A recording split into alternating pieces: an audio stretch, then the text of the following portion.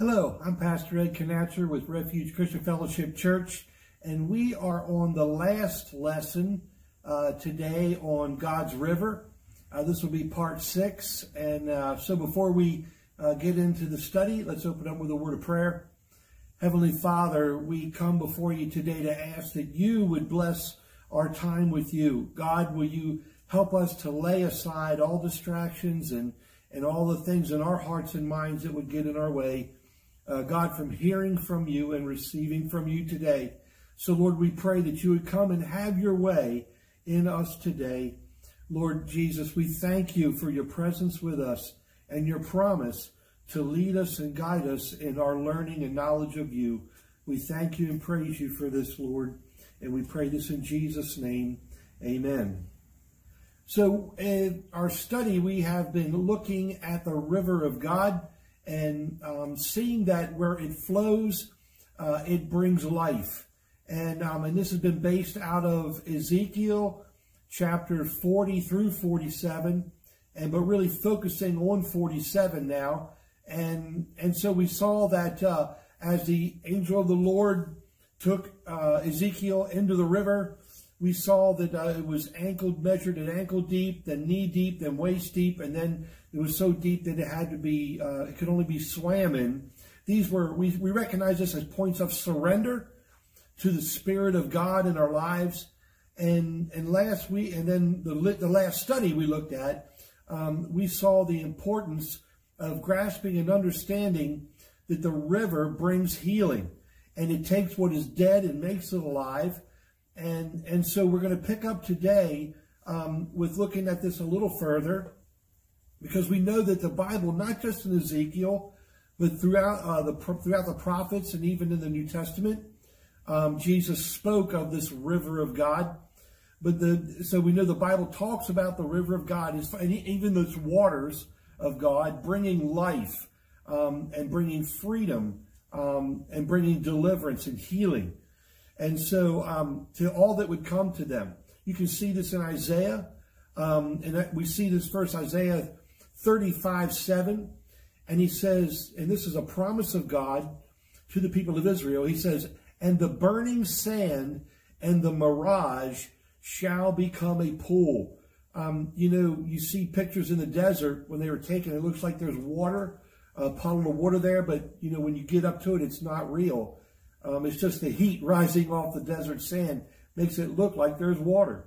But God says, but he's going to change all that um, his promise is to, to take those places that are so dry and desolate, listen, and appear as one thing, but are not. They're a disappointment. You know, life has those things in it. We have times and periods in our lives where we go through these deserts and we, we actually live from um, um, oasis to oasis, or, or from mirage to mirage. We could say something appears to be what we need, but when we get there, it's not. And, and so he says, and the burning sand and the mirage shall become a pool. Um, God will take our disappointments and and actually bring them um, to the manifestation of of being what we really uh, desire and need in our lives. Um, it says, "And the thirsty ground springs of water in the haunt of jackals." Where they lay resting shall be grass and reeds and rushes. Um, you know, water has that ability to do that even in the most barren land.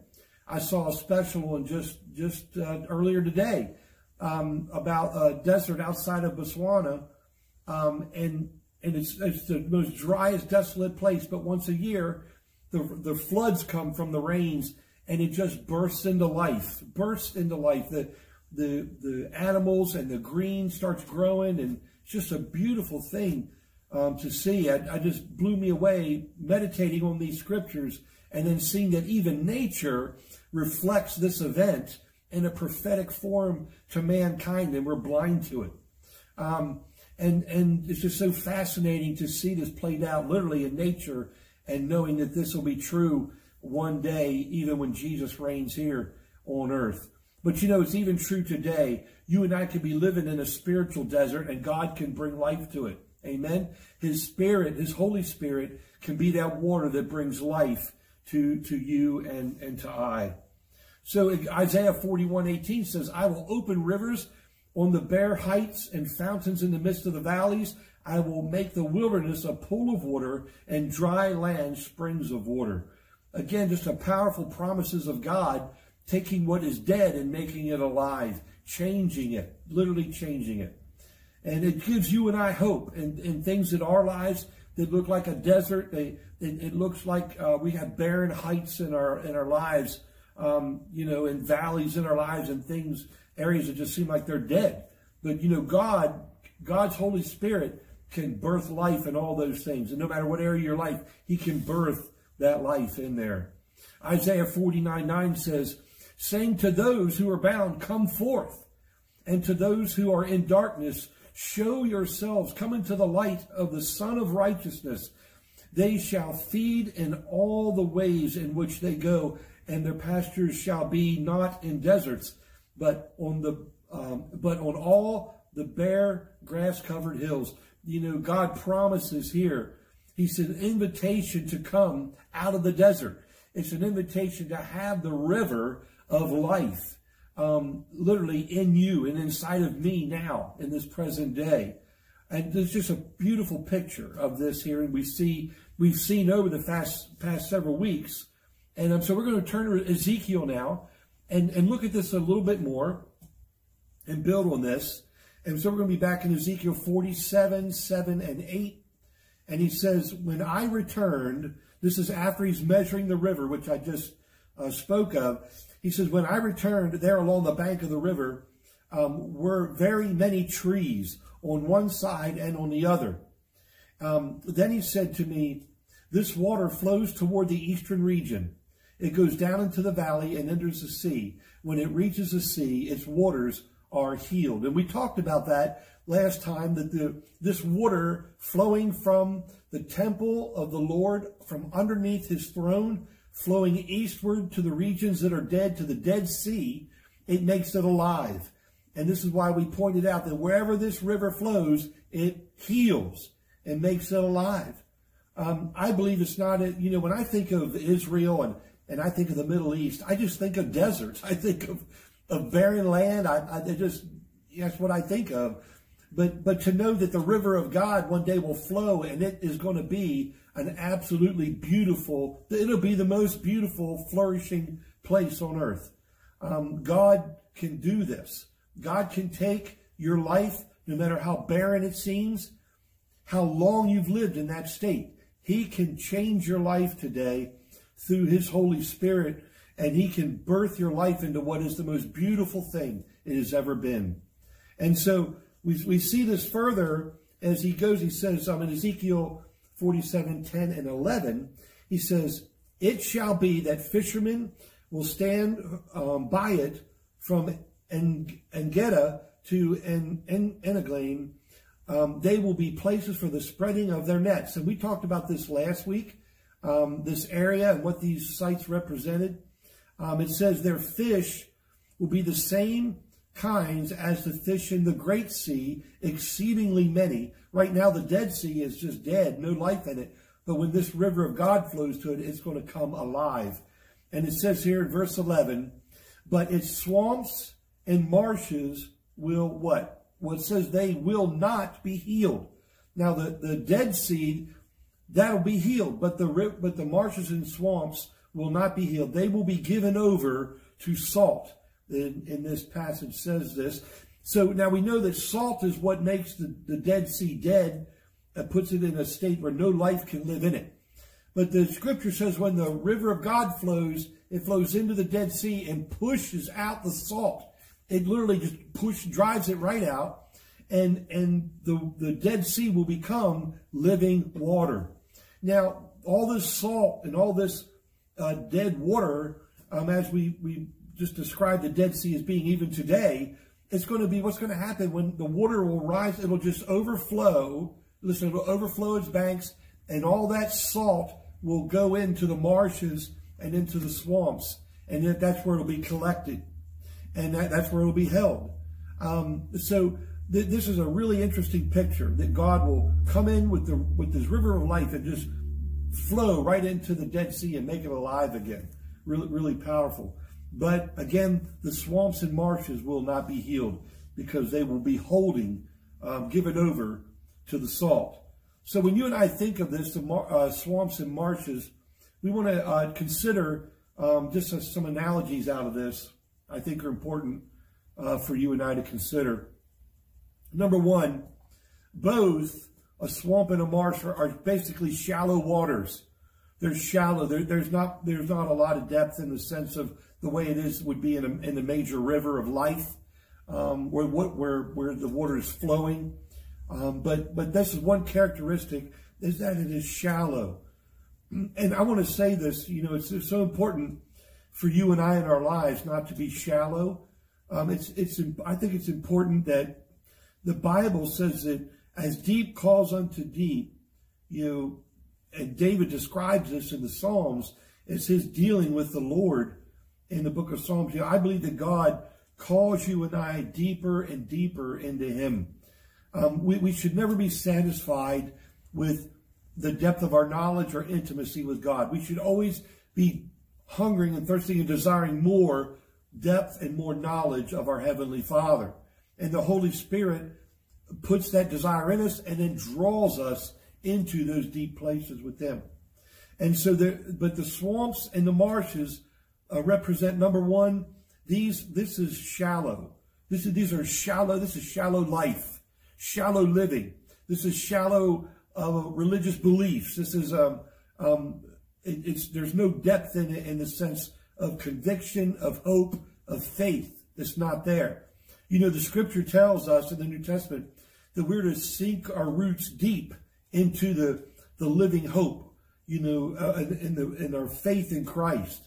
And, and so you know, there's a place in our, in our growing in faith where we, we do that. We, we take our, our hope and we just sink it deep in, into the knowledge of God and what we know of him. And our faith grows from this.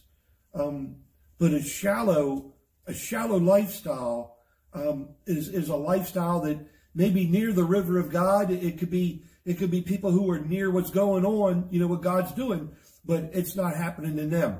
They they may be they may be around people who God is moving and touching in their lives, but it's not happening in them. Why? Because because they're in the shallows. They're, they're on the side. They're, they're the swamps and the marshes. They've sunken their roots down somewhere they, they should they should not have. Um, you know, there's only one place to plant our roots, and it's by the river of God. It's right there with the river so that we can draw from the Holy Spirit, his life-giving source, um, and, and our lives are picturesque of that. Um, this is a really interesting picture and looking at this an analogy of that way. Number two, not only are swamps and marshes shallow, but they're also stagnant. There's no, there's no flow. Um, there's no flow of the living water into these places. so, you know, that there's a, there's a pushing out of the salt when this river flows through into the Dead Sea, but it's, it's what causes the death of the sea. The salt is what is driven out and pushed out and winds up in the swamps and in the marshes. It becomes a, it becomes a holding place of those things. So not only are they shallow, but they're stagnant. There's no, there's nothing new coming in and nothing fresh and alive coming out. I say that again. There's nothing new coming in from the Lord and there's nothing fresh and alive going out to others around us. And so we can become stagnant and, and um, spiritually speaking, this, this is that picture. This is that picture of either a swamp um, or, or a marsh. Now also, not only are they shallow, not only are they stagnant, but they are they are separated from the river. In other words, there is some kind of buffer. There's some kind of raised piece of land. There, there's a, there's an obstruction there where if the water overflows, then then it pushes the salt into those things. But there's no life-giving water flowing into those things. There is a there's something separating these these marshes and these swamps from the river of God. And that's why the waters are stagnant. That's why there's nothing flowing in. Um, again, they are, they are blocked from the river of God. They're not only shallow, they're not only stagnant, but there's blockage around these areas so the river can't flow into these places. And you know, it's true. Um, spiritually speaking, you know, people can have things that have blocked their lives up where the Holy Spirit's not moving, flowing in there. And people can be by the river, but but there's a buffer zone there, and they could be right there next to the river, but there's a buffer zone keeping them from from drawing from God, keeping keeping God from flowing into their lives. I, I believe those those um, those buffers, those those blockades, those whether if you can picture a raised piece of ground or a river banks higher, you know, as the river goes by and keeps the water from flowing over here. Whatever it is, there's something that brings division in there from from the life of God. And these are things that we need to watch out for. We need to watch out for living a shallow life. Um, we need to watch out for becoming stagnant, and we need to watch out um, from living a life that's that's literally separated from from God. And and so you know the Bible says that sin, our sin, separates us from the Lord. Um, if you've never asked Jesus to forgive you of your sins, this is why he came and died on the cross for you. If you've never asked that, you need to go to him, turn from your sin in your heart, sincerely ask him to forgive you because he died on the cross to pay for your sin and for mine. And he was raised again on the third day to show the victory he won for you and I over our sin, over death, and over the grave. And, and God wants you to have that hope. He wants you to be a partaker in his river of life as we've been looking at these past few weeks. But there, but there's a separation. Sin, the, um, the scripture says that your sins have, have separated you from God. And, you know, we can have our sins forgiven and removed. In other words, that thing that's causing the division can be taken out of the way. And there can, and God can flow into your life. He wants to flow into your life. And, and so we see again, we can, we can make the mistake um, and, and, these people are in danger, those that live shallow, stagnant, and separated from the life of God. Um, you know, also the um, you, you, also see that the swamp is is different from a marsh because a swamp has trees, um, but a marsh does not. Okay, the swamp has trees, but the marsh does not. Um, some people, um, you know, find comfort in the fact that you know they feel like they, they, they live, they, they go to church Sunday, they live around Christianity, they've got Christian friends, but it really hasn't, um, it really hasn't birthed and happened within them and their personal faith with Jesus. Um, you know, God wants you to have that. And, and so if you, if you feel the Holy Spirit working on your heart about that, you know, if, if, if you and I, you know, if we say, you know, we're, are we, we're a Christian, we have faith in God, then th there should be a conviction of sin. And when, and when God brings that conviction in, however he does it, it's never pleasant. But when he brings it in, there should be this, uh, a repentance. There should be a, um, a godly sorrow in within you and I that, that produces repentance where we can turn away from it and flee that sin and get right with Jesus. You know, the, the, the swamp has trees, just like along the river, uh, Ezekiel described trees growing and producing fruit and all this. Well, there's trees in the swamp too, but they're different. Those trees don't produce fruit, you know, and they're not drawing, they're not drawing their substance from the river of God. They're drawing their substance from that, that stagnant, dead water.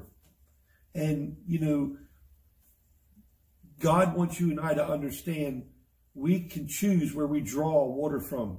You can choose where you get your water of life from. You know, you want to you want to get it from God. You don't want to get it from the stagnant pools of this world. You know, even even if there's trees, even if there's other people you see doing that, um, don't don't you fall for it.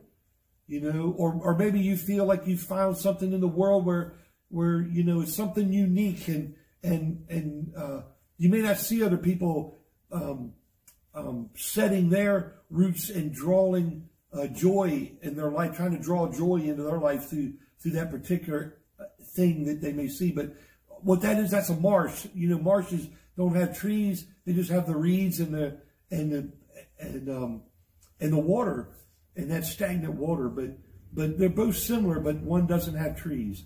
And you know, it doesn't matter which one that is for us, both are not healed. Both don't find healing, both don't bring life. And and we don't want to be we don't want to be in the marsh. Um, we don't want to deceive ourselves and be live the the marsh life um, where we feel like we're we're um, we're we're embarking on a new thing, um, but really it's just death. The Bible says there's a way that seems right to a man, but the, the way thereof ends in death. Um, and then we don't want to be uh, live the swamp life, and that is where we got people around us. There's other trees. We're a tree. Picture yourself as a tree in a swamp, and there's other trees, but but we're we're drawing our life from those stagnant waters. You know, God doesn't want that either. This vision here is the trees planted by the river flowing from God's throne. It brings healing, brings life, and the trees produce fruit in their season, and their leaves are for healing for the nations. There is a benefit, a life-giving benefit resulting in the lives of those planted by the river, the river of God. Um, but again, finally, the two things, the swamp and the marsh, as we said at the beginning, that they both are not healed. There is no life, there is no healing and no restoration in those in those ways of life um, in this in this vision that Ezekiel has. The only way to get healing and to get life is to receive it from the river of God. Both both represent both the marsh and the swamp represent those who are around the river but are not connected to the river. You know, the Bible relates us to trees um, you know, it's interesting. It relates us to, I asked this this past Sunday, um, what are some things that the Bible um, relates us to um, symbolically, you know? So we have clay, we have grass, uh, we have salt, we have light. Um, well, this one here is trees. And and uh, we find here the first verse for that is Psalm 1 3. It says, And he will be like a tree firmly planted by the streams of water. This is speaking of the one who doesn't walk in the counsel of the ungodly, nor stand in the path of sinners, nor sits in the seat of the scornful. But his delight is in God's law and in the word. And in the word of God, he meditates day and night. And then this is where it comes in. And he will be like a tree firmly planted by streams of water, which yield forth its fruit in its season, just like Ezekiel says. And its leaf does not wither, and in whatever he does, he prospers. So God, God is speaking here uh, symbolically to you and I so that we can see that when you and I don't walk in worldly counsel and, and we don't um, sit in judgment as the world judges others and, and, and we don't walk with the world, but the scripture says, but we meditate on God's word day and night. And when we do that, then he says, You're going to be like this tree by my river that produces fruit, its leaf won't wither, and whatever you do, you'll prosper in it. What a what a absolute incredible promise from God. Absolute incredible. And so we, we see this uh, um, example of use of comparing us to trees. God uses that example for us to understand. And um, and then we have in uh, Psalm 92 um, 19 to 15, the righteous man will flourish like the palm tree, and he will grow like a cedar in Lebanon, planted in the house of the Lord, and they will flourish in the courts of our God, yielding fruit in old age. You know, God wants us to see these promises and see how he relates to us being trees, because I don't think it's a, a coincidence that the river of God described here in Ezekiel has trees planted along the river that are producing fruit in their season, and their leaves are for healing for the nations. This is just really a powerful picture of what God promises you and I can be like. You and I can be like this. But you know, if we if we settle for um, if we settle just for being religious and we're not worried about having a relationship with Jesus, then a religious life is just going to be like you're in the swamp or in a marsh. You know, and, and it's not going to produce anything good in you and I. And, and we'll end up not being healed and have the life eternal that God has for us. Um, you can, like I said before, you and I can choose where where we get our water from, where where we draw uh, the, what we're drinking from, and and you and I can pursue it. God wants us to pursue His living waters in our life, and it's so important. You see this again spoken of in the prophets, and then in Jesus' day. You know, He says, uh, you know, He who lives and believes in Me, out of His innermost being, you know, shall flow rivers of rivers of living water. We said that this, we can see this in the past studies where Jesus made this promise. And, and he, he wanted us to understand and know that all the prophecies given in the Old Testament could be true literally within us today. These living waters can flow out of us. These living waters can literally remove what is causing something to be dead and bring it to life like the Dead Sea. And with the rivers and the living water of God, there's always hope. There's a living hope. And God wants you and I to have this in our lives as we look at our nation. We're praying for our nation. We, we're praying for our own walk in the Lord, you know. Um, God, listen, when the river brings healing um, and brings restoration to places, that's what he does within you and I. He heals and gives and, and restores what was either destroyed or stolen or lost in our lives. He wants to give that back. And um, so when we go in and we look at this, it, you know, it's, we need a national and even a personal healing. Um, at this time in our lives, in this, in the, in the time of this of our existence as a nation. We need this. And, and so this gives us something that we can use in our prayer lives in praying for our nation that, that this, the river of God, spiritually speaking, will flow from the throne of God and into our nation. It'll flow into us. It'll flow around us, out to others. But it is this life-giving river of life from God is what we so desperately need and there's no way we can we, we can uh, live without it. Tell you the truth, um, you know the the promises that God gives. Isaiah 55 1 says, "Come, all you who are thirsty, come, all you who are thirsty." Now you know, not everybody is going to hear this, right?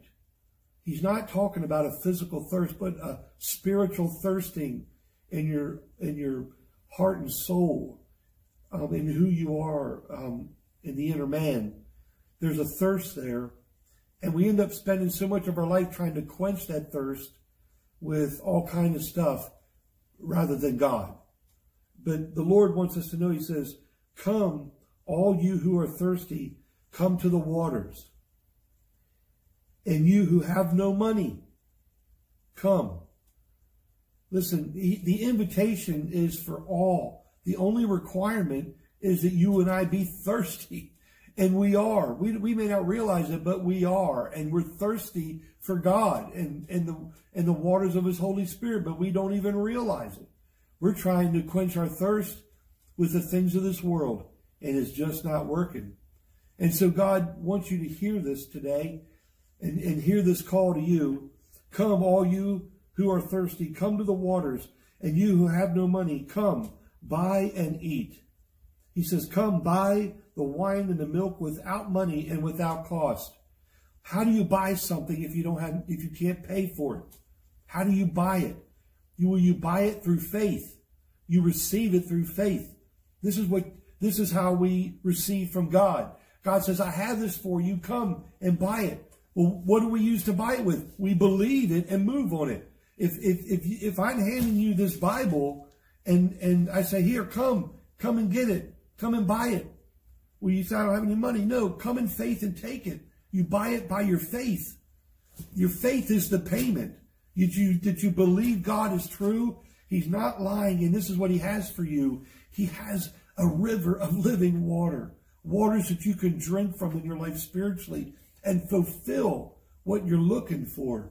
This is what the Lord has for you and I. So again, Isaiah 55, 1, Come all you who are thirsty, come to the waters. And you who have no money, come and buy and eat. Come buy the wine and the milk without money and without cost. There's an invitation there for you and I to come. And we do it simply by faith. By faith. Listen to Revelation 21, 6 here. It says, He said to me, It is done. I am the Alpha and the Omega, the beginning and the end. This is Jesus speaking here, and he, he's declaring it's done, it's finished. And he says, I am the Alpha and Omega, the beginning and the end. To the thirsty, I will give water without cost. Can you hear that? Does your not not hear it in your ear with your ears, but can you hear it in your heart? Can you hear that in your spirit? He's the beginning and the end of everything. And he says, To the thirsty, I give water without cost from the spring of the water of life. This is the promise of God. Even in Revelation, this, this comes through Jesus. Faith in Jesus unlocks the spiritual river that flows from under the throne that's established in your heart. It'll flow out of you as you're looking for the return of Jesus one day, and it'll bring life to what's dead around you, even in other people's lives. Listen, this is what God has for you and I, that our spiritual thirst be quenched. And again, how do we buy it? How do we receive it? How should we respond to the Lord when he says, come and buy? Well, we do it through faith. Our faith in the eyes of God is more precious than gold. And listen, if God's inviting you today to respond to him, to respond to him and receive this river of life he has for you.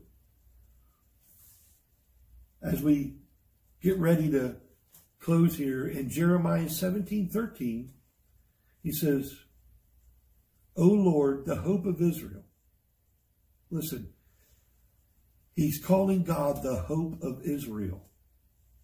O Lord, the hope of Israel. O Lord, the Lord meaning supreme authority. And that title, Lord, belongs to Jesus. The Bible says, if you confess with your mouth that Jesus is Lord, believe in your heart that God raised him from the dead, you shall be saved. Your salvation rests upon the declaration of your faith out of your, your lips. You need to declare that today if you've never done that. Even if you believe it in your heart, but you've never done it, you need to declare today, Jesus is Lord. And I believe in my heart God raised him from the dead. Listen, that should be our declaration. Jesus is Lord, meaning he's supreme authority. Listen, it says, O Lord, the hope of Israel, or the hope of God's people. You could put that in there like that too the hope of the Christians, all who forsake thee will be put to shame. All who forsake thee will be put to shame. Those who turn away on earth will be written down because they have forsaken, here it is, the fountain of living water, even the Lord. Listen, God wants you to know he's calling you to the river. He's calling you to, to have within you the river of living water that flows and brings life and healing to all around you. All that is dead can be touched, can be restored, be healed, and, and the dead can be made alive. And all that can come through the Holy Spirit within you and I. There's this beautiful picture, as we've been seeing, a river that will flow in the end times when Jesus reigns on earth. This river will flow from under the temple and flow out to the eastern region, and it'll make the Dead Sea alive. And as the same today, this river can flow, which is his Holy Spirit, flow out of you and I, and flow to that which is dead and make it alive. You know, God wants you and I to understand that as a tree planted by the Lord, we can choose where we draw our water from. Let's choose today to stop, to stop drawing from the stagnant pools and waters of this world. Let's get what we need from God. There's no, we can't waste time on this anymore. We, you can't, you and I can't be fooling with sin. We can't be, um, we can't be living the stagnant life, the shallow life. We can't be living the separated life. We can't be living this life any longer that, that, that is resulting in a death and not in a life. God wants you and I to be drawing all we need from him in him alone. And this is when we don't walk in the counsel of the world. This is when we meditate on the word of God day and night. Not just read it, but meditate on it. Think about it. Meditate on it. And hear what God is speaking to you today. He wants to talk with you. He wants to pour his spirit into you. He wants to restore you. He wants to heal you. Oh, he wants you to be a source of his life flowing out of you and touching others. Praise God. Hallelujah. So let's look at the last verse here. And we want to end on this because this is important. In verse 14 of Jeremiah 17, he ends this and says, Heal me, O Lord, and I will be healed. Save me, and I will be saved. You know, he's asking what he's doing is he's asking for the river to impact him first. Amen. Wherever the river goes, it brings healing. It brings life. You know, and the, and the writer's saying here, he doesn't want to turn from God. He wants to, he, he wants to be healed by, he wants that, he wants that part of his life to be healed. He doesn't want to turn from the Lord. He doesn't want to doubt God, but he wants to go on with the Lord. And we see this here. The, the, the writer goes on, the prophet goes on to say, Heal me, O Lord, and I'll be healed. Save me, and I will be saved. For thou art my praise. You know, I hope that's your heart tonight. And, uh, you know, if you want the river of God to flow out of you um, and, and, and to bring life to those who need it around you, to make, to take what is dead and make it alive. Listen, the Lord has that for you. And we remember we can choose where this, uh, where we draw our water from. We can choose the river of God. I pray that's your choice tonight. I pray that that is your choice today and what God has for you. Let's pray. Heavenly Father, we ask today that your Holy Spirit would lead us and guide us, Father, into your truth. And God, that you would birth your river in us, Lord. Lord, it is our heart's cry even, to, even today.